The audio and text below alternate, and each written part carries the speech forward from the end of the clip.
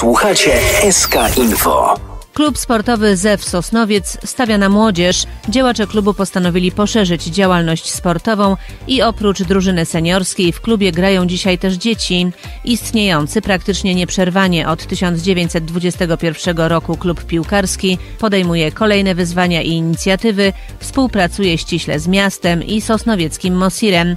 Jest też partnerem Zagłębia Sosnowiec. O działalności klubu dzisiaj rozmawiamy z Wojciechem Wilkiem, wiceprezesem klubu ZEW Sosnowiec. Klub sportowy ZEW Sosnowiec to nie jest y, nowa jednostka sportowa na terenie Sosnowca, bo to klub z tradycjami. Z tego co ja przeczytałam, klub powstał w 1921 roku i nazywał się wcześniej Świt Niemce. Czy klub działa nieprzerwanie od tego czasu? Były jakieś małe przerwy, natomiast generalnie rzeczywiście klub e, przez e, cały okres, e, aż, aż do dzisiaj, praktycznie bazu, bazował na, na drużynie seniorów. I to nawet zdarzało się, że w pewnych okresach e, klub grał w trzeciej lidze, czyli jakby obecnie drugiej lidze, tak, uwzględniając ekstraklasę. Może się poszczycić nawet konkretnymi nazwiskami, a w zasadzie jednym takim wychowankiem, który mm, zasłynął w piłce zawodowej, to, to Włodzimierz Mazur. Tak, to rzeczywiście osobowość, którą wielu fanów fanów piłki nożnej na pewno doskonale pamięta. No i oczywiście ta drużyna seniorska jest cały czas i ona nam towarzyszy. E, natomiast bardzo dużo pozmieniało się w klubie, ponieważ e, przez e, te wszystkie lata w zasadzie klub bazował na współpracy z kopalnią, której jak wiemy już, już nie ma.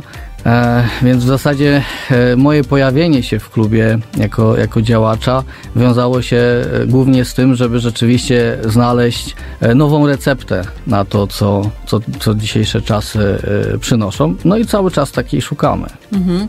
No często jest tak właśnie, że ten sport, który kiedyś był sponsorowany przez kopalnię, bo to nie tylko piłka nożna, to była też bardzo dobra piłka ręczna w Sosnowcu, czy piłka siatkowa. Te drużyny, czy te kluby, y, no miały później bardzo i różnie to bywało. Wiele tych klubów już też nie ma, tak? Nie istnieją, nie przetrwały. Porozmawiajmy o tym, co dzisiaj, bo wiem, że klub stawia obecnie również na młodzież. Rzeczywiście to takie moje oczko w głowie. Generalnie pojawiając się w klubie już była Akademia Piłkarska.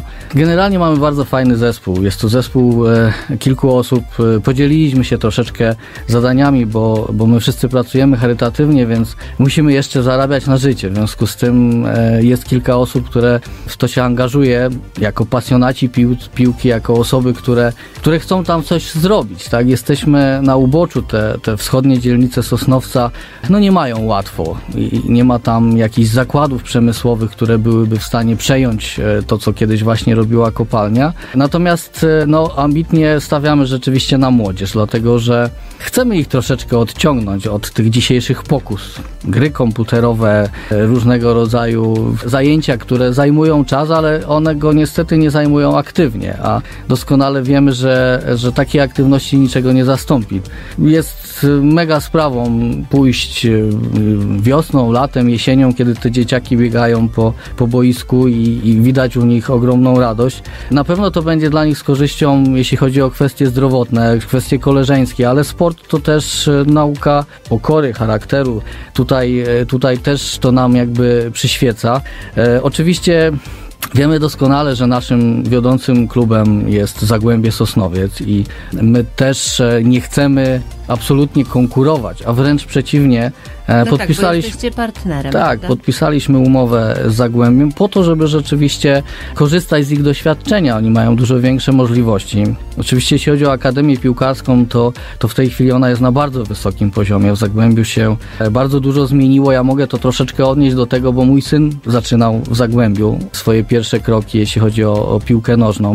E, też miałem okazję obserwować różne inne kluby, w których on się później e, pojawiał, jak to wszystko wyglądało, a jak to teraz rzeczywiście wygląda Zagłębiem.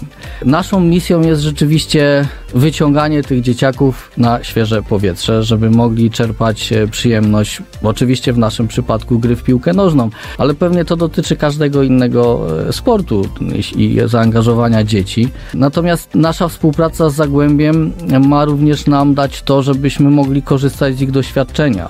Mają tam już specjalistów. Zresztą pan Wojciechowski, który jest szefem Akademii, ma kupę świetnych pomysłów. Rzeczywiście wdrożył bardzo fajny system e, szkolenia i my chcemy z tego korzystać. Udostępniają nam to. Też są na to otwarci. W związku z tym chociażby najbliższe działania to szkolenia trenerów. Mamy no przy... właśnie, bo musimy też e, powiedzieć troszkę, jak to wygląda w praktyce, jak to wygląda od kuchni, czyli e, specjaliści czy fachowcy z Zagłębia Sosnowiec odwiedzają Was w Ostrowach i możecie korzystać, nie wiem, w czasie jakichś specjalnych treningów? Znaczy, jest kilka wątków, które chcemy rzeczywiście wdrożyć. Pierwszy z nich to było ogólne szkolenie dla trenerów, które przeprowadził Piotr Tomsia, też współpracuje z nami bardzo ściśle, od wielu lat związany również z Zewem, obecnie też jest trenerem w Zagłębiu, więc jest jakby takim naszym koordynatorem i poprzez niego możemy się komunikować z, z Akademią Zagłębia.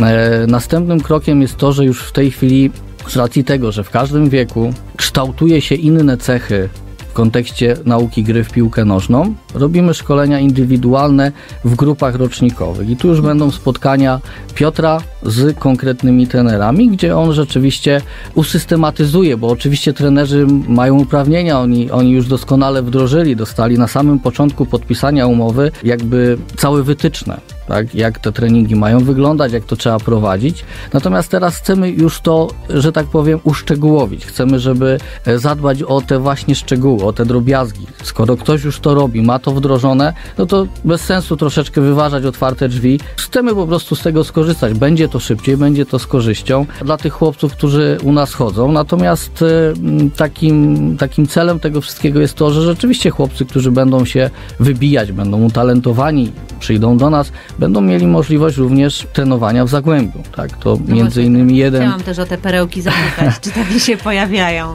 Tak, ja, ja nie ukrywam, że to, co teraz robimy, to jest coś, co udało mi się zaobserwować, czy to jeżdżąc e, wspólnie z synem na różnego rodzaju obozy, do różnych krajów byliśmy, w Niemczech, w Chorwacji i tak dalej. Tam rzeczywiście funkcjonowały bardzo fajne systemy, gdzie właśnie kluby ościenne wokół jakiegoś klubu, e, no wiadomo, ina, inaczej finansowo ustawionego, dużego, który ma e, drużyny seniorskie w wyższych ligach rozgrywkowych, e, mają za zadanie właśnie wyciągać te dzieciaki, wychwytywać, tak, często zachęcać ich do tego, żeby po prostu pobiegały. Czasami okazuje się, że wśród takich chłopców po prostu pojawia się talent i on pewnie nigdy by nie trafił do takiego wielkiego klubu, bo to są różne rzeczy, to jest kwestia, nie wiem, czasowa dla rodziców, czasami finansowa, tak, trzeba te dzieci wozić i tak dalej, a tak mamy szansę gdzieś tam zaprosić ich do nas, zachęcić do, do gry, a jeśli się okaże, że rzeczywiście ich umiejętności będą na wysokim poziomie, będą po prostu utalentowani, to wtedy mają otwartą drogę w tym przypadku do, do Zagłębia. Taki fajny system rzeczywiście w Chorwacji funkcjonował. Myśmy tam jeździli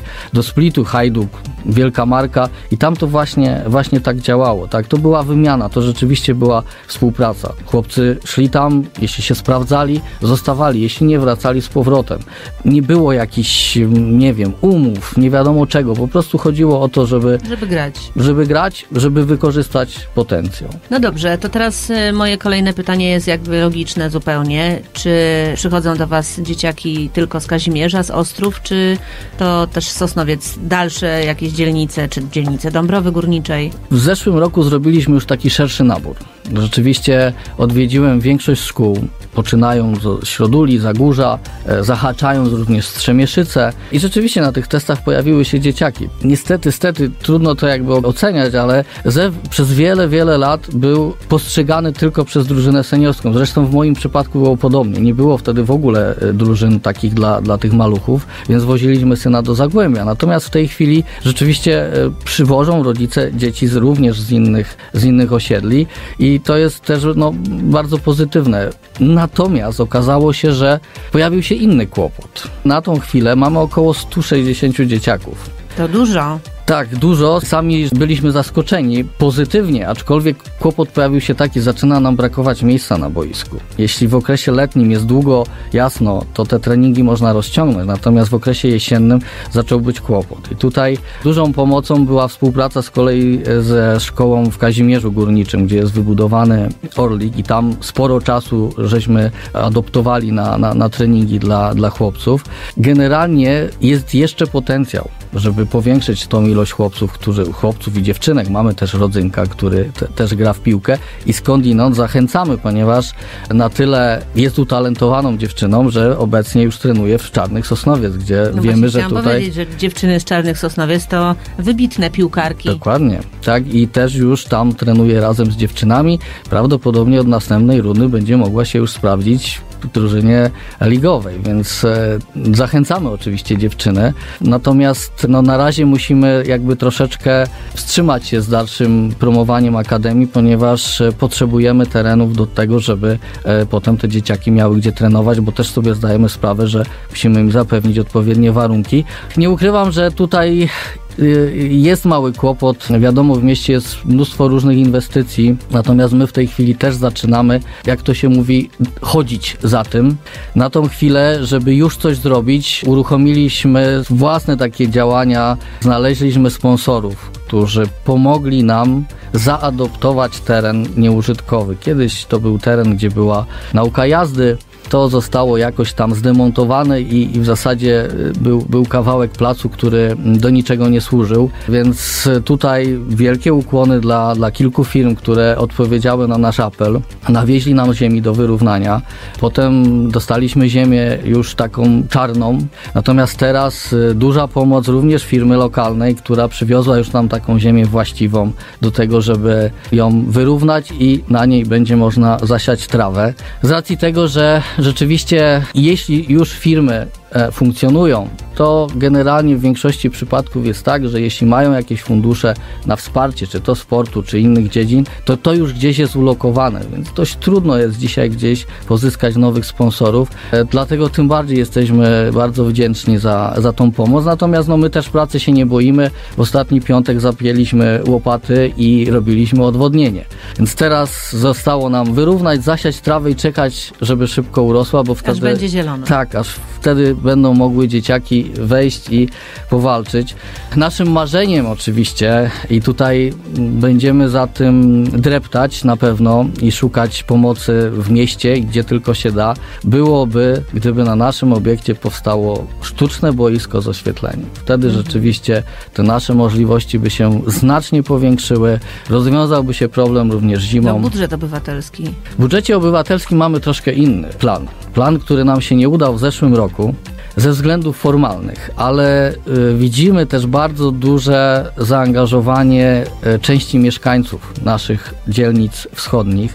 No tak to się poukładało, że w zasadzie w tych naszych ostrowach nie ma za bardzo gdzie się spotkać, gdzie usiąść, porozmawiać, a nawet jak rodzice przywożą te dzieciaki i pada deszcz, no to niestety albo siadają w auto i czekają, albo jadą do domu, wracają, więc y, wymyśliliśmy, że fajną rzeczą by było wybudowanie świetlicy osiedlowej. I wystartowaliśmy, bardzo duże poparcie było dla tego przedsięwzięcia. No niestety okazało się, że rok wcześniej został zrealizowany projekt na siłownię na naszym obiekcie, no taką zewnętrzną, a w zapisach było tak, że od zrealizowania takiego projektu muszą minąć dwa lata kolejne, żeby można zrobić Znów. coś, więc rozbiliśmy się troszeczkę o, o względy formalne. Mimo chęci pomocy, no niestety zapis jest zapisem, natomiast chodziłem troszkę za tym i dzięki również pomocy niektórych radnych, którzy nas wspierają, ten zapis jest usunięty. Mamy jakby ogromną nadzieję na to, że e, rzeczywiście e, uda się zgłosić ponownie ten projekt i powiększą się też nasze możliwości, bo to też będą mogli wykorzystać dzieciaki, trenerzy, żeby gdzieś się spotkać, nie wiem, omówić mecz, em, czy przedyskutować, czy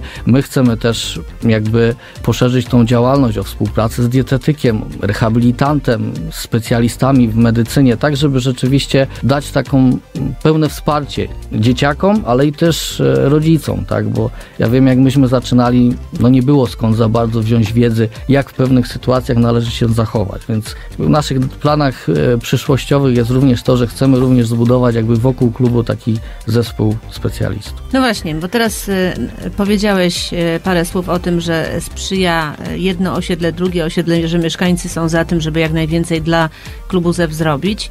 No to muszę teraz wspomnieć imprezę, którą tak naprawdę zaczęliście troszkę namawiać ludzi do współpracy, bo był taki taki wielki piknik. Czy generalnie tych pikników już było kilka. Chcemy je kontynuować oczywiście, przy czym no tutaj przydałoby nam się troszkę więcej rąk do pracy, bo tak naprawdę jestem ja, gdzie mam, że tak powiem, szukać sponsorów, czyli zabiegać, jak to się ładnie mówi, o te względy marketingowe i promowanie klubu. Jest y, prezes Paweł Kuroń, który no, też poświęca bardzo dużo czasu tych rzeczy takich formalnych, związanych z rozgrywkami, dotacjami, rozliczaniem tego wszystkiego, organizacją, poświęca mnóstwo czasu. Jest e, Jurek Witkowski, który właśnie organizuje jakby całość funkcjonowania Akademii Piłkarskiej, jest to bardzo zaangażowany i no bez niego pewnie by to w ogóle nie zafunkcjonowało, bo to jakby też była w zasadzie jego inicjatywa, żeby w Zewie wprowadzić e, dzieci. dzieci. Mamy do pomocy również kolegów kolegów, którzy działali wcześniej już e, w Zewie i też nas wspierają. Także no, jest nas rzeczywiście grupa osób. No jest jeszcze nasz, nasz Jacek, który z kolei zajmuje się całą seniorką. Tutaj też e, te wszystkie kwestie, ta otoczka wokół seniorki, jakby w momencie, kiedy nie, nie byłem w tym, nie zdawałem sobie sprawy, ile tak naprawdę jest koło tego wszystkiego chodzenia. A tak jak powiedziałem, no jeszcze każdy z nas musi jakoś, jakoś funkcjonować w rodzinie i, i zawodowo. Dlatego mamy w planach oczywiście pikniki. Nie chciałbym na razie wybiegać za daleko, ale obecnie rozmawiamy z grupą Kustosza. To są Harley'owcy i bardzo możliwe, że uda nam się zrobić takie fajne wydarzenie gdzieś tam oparte również o, o kwestie motorowe, może jakiś zlot. Zobaczymy, co z tego wyjdzie. Na razie, na razie staramy się to jakoś e, układać. Natomiast te festyny robiliśmy po to, żeby docelowo no, zarobić troszeczkę i móc te pieniądze zainwestować w Akademię, w dalszy jej rozwój. Także plany w tym zakresie jak najbardziej są. Oczywiście zachęcamy wszystkich chętnych do tego, żeby, żeby włączyli się w działania klubu, ale też jesteśmy pozytywnie zaskoczeni otwartością firm. Chcemy na bazie tego zbudować coś, coś większego. Na tą chwilę wdrażamy coś, co nazwaliśmy kartą klubową. Jest to karta, która upoważnia zawodników, zarówno dorosłych, jak i dzieciaki oraz całe ich rodziny do tego, żeby korzystali w firmach partnerskich ze zniżek bardzo fajny odzew firm lokalnych. E, chcemy, chcemy zbudować takie fajne środowisko, również to biznesowe. Liczymy oczywiście, że to się rozwinie również dalej, bo sami prowadzimy firmy i wiemy, jak dzisiaj jest ciężko, więc mm, firmy, które przystępują do, do tego programu są z przeróżnych branż, od firm drukarskich przez e, korporację taksówkarską, biura rachunkowe, pizzerię jedną, drugą i tak dalej. Chcemy, żeby też ta społeczność lokalna troszeczkę się zbliżyła, obudziła. tak? obudziła, żeby oni też zaczęli z sobą e, współpracować, bo ja mam takie wzorce gdzieś tam zachodnie, gdzie rzeczywiście te takie lokalne społeczności funkcjonują, tak, gdzie to żyje, tam naprawdę dużo rzeczy się dzieje. Oczywiście wiadomo, wszędzie są potrzebne pieniądze, ale jak czasami się skrzyknie kilka osób, można coś fajnego zrobić po prostu własnymi siłami. Także mamy tutaj fajny odzew. Rzeczywiście te karty już zaczęły działać, mamy je wydrukowane, już dostali, zresztą sam też korzystałem w kilku punktach, działa, jest sprawdzone. Więc oprócz tego, że chcemy poprzez to zbudować taką dobrą atmosferę wokół klubu i to zarówno wciągając troszeczkę bardziej w to życie klubu rodziców, jak i firmy, to i też może z tego wyjść coś fajnego biznesowo. No to właśnie moje kolejne pytanie było, jak rodzice, czy też chętnie pomagają? Znaczy, jest to, nasza szkółka jest bardzo młoda. Pierwsze rozgrywki, gdzie były zgłoszone dzieciaki, to 2013 rok. I to się tak powolutku rozwijało. Tak jak wspomniałem, w zeszłym roku ten nabór dał takiego dużego powera. Myślę, że potrzebujemy trochę czasu, żeby nauczyć się tej współpracy, tak? Żeby rzeczywiście rodzice mm, bardziej się może troszeczkę zaangażowali. My im chcemy ze swojej strony z kolei dać fachową wiedzę. Będziemy na pewno nad tym pracować. Myślę, że taka karta, jakiś pierwszy krok do tego, żeby ta współpraca się zacieśniła E, będzie, będzie właściwy. Drużyna seniorska istnieje praktycznie nieprzerwalnie od tego 1921 roku. Teraz już czwarty rok dbacie o to, żeby trafiały do Was dzieciaki i młodzież, e, ale wiem skądinąd, że jest też jakaś idea, jest jakiś nowy pomysł, może kontrowersyjny, może nie, ale być może warto byłoby się nad tym zastanowić szerzej. Klub myśli o drużynie z osobami niepełnosprawnymi. No tak, tak. Jest to jakiś taki nowy pomysł, który mi chodzi już dawno po głowie. No często te dzieciaki w ogóle nie mają takich możliwości. Oczywiście to jest na etapie całkowitego pomysłu, aczkolwiek rozmawiałem już z wieloma osobami i z miasta, i z trenerami, czy w ogóle jest to możliwe, jest to realne. No wiadomo, do tego na pewno musimy się dobrze przygotować, ale chcielibyśmy również tym dzieciakom dać trochę e, przyjemności, trochę radości z tego, żeby mogli również e, pograć sobie w piłkę wielokrotnie gdzieś tam na różnych meczach e, wielkich klubów, tak? Widać urywki, gdzie, gdzie te dzieciaki się rzeczywiście gdzieś tam pojawiają, są ujmowane przez kamery, zawodnicy ich przyciągają do siebie, tak? To, to są ich idole, więc no, jest, to, jest to na pewno duże wyzwanie, natomiast w tej chwili szukamy pomysłów jak to zrobić? Każdy, kto dołoży tutaj cegiełkę, no, będzie mile widziany i, i za każde oczywiście wsparcie w tym zakresie będziemy wdzięczni. Więc powolutku staramy się ten temat rozgryźć, poukładać, no i mam nadzieję, że on nam wypali, dojdzie do skutku. Dziękuję bardzo za rozmowę. Dziękuję również.